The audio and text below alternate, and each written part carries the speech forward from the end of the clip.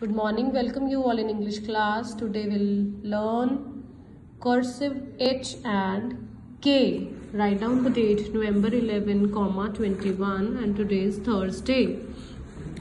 How to write cursive H? Make a slanting line, go up, turn and make a standing line.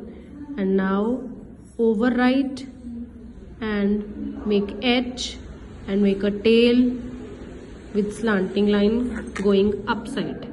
Okay this is H slanting line turn standing line go upside again then make H and make a small tail like this. H how to write K?